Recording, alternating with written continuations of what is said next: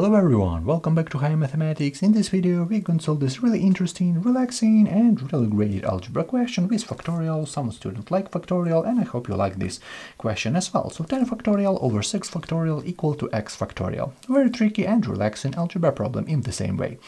A lot of students solve it like that, maybe not a lot, maybe half of students try to find this question very easy and try to cancel this numerator and denominator. They think, okay, 10 factorial 6, let's, let's divide it by 2, so as a result 5 factorial factorial over 3 factorial equal to x factorial, something like that. Then they express this 5 as a product, this 3 as a product, but as, you, as I want to tell you that you need you don't need to cancel this. This is absolutely incorrect. This is very big mistake. So let's try to to express this 10, express this 6, and let's try to find our answer, because this is not our x, this is x factorial, which is really important.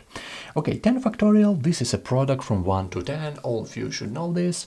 We have like 1 times 2, I just write these products at all, so 2 times 3 times 4 times 5, 6, 7, 8, 9, and 10. Yeah, this is our product. And in the our denominator, we have like 6 factorial. So 1 times 2 times 3 times 4 times 5 and times 6. Okay, equal to x x factorial.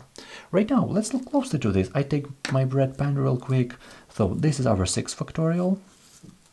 And right here we have the same expression. So 1 times 2 times 3 times 4 until this 6 so this is our 6 factorial x as well so the same product we can easily cancel this product which is absolutely great for us so right now we still have this expression so we have 7 times 8 times 9 times 10 equal to x x factorial Okay, what are we going to do with this expression? Maybe part of students multiply it and they say, okay, the answer is like 70 times 72. They try to multiply it. This is a very huge number.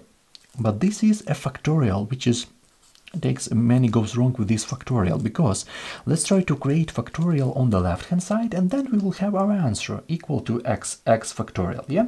How can we do this? Right now if let's try to express this for example 8 as 1 times 2 times 4 yeah? This 8 can be written as 1 times 2, for example, times 4.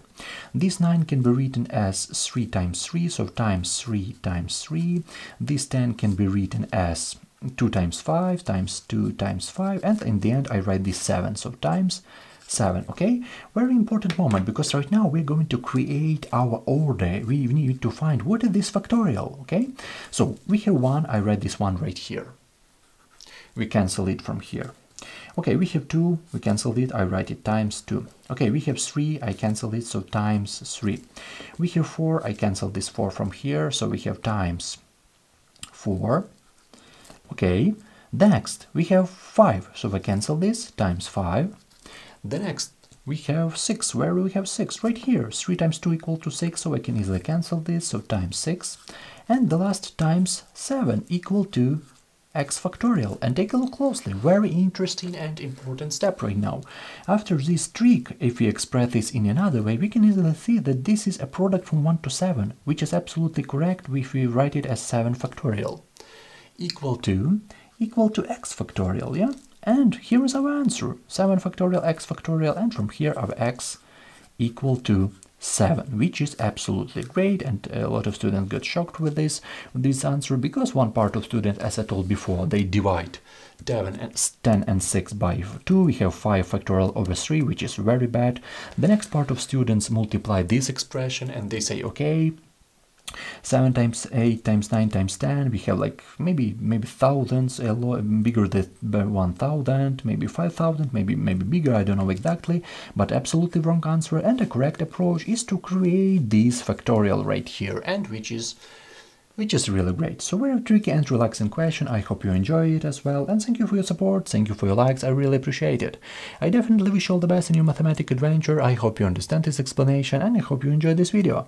Thank you for your support, I want to say thank you for a lot of subscribers who support my channel, who try to help with whatever you, you can, like likes, comment, or another way to support. Thank you for your time, have a great day, see you in the next videos. I definitely wish you all the best in your mathematical adventures.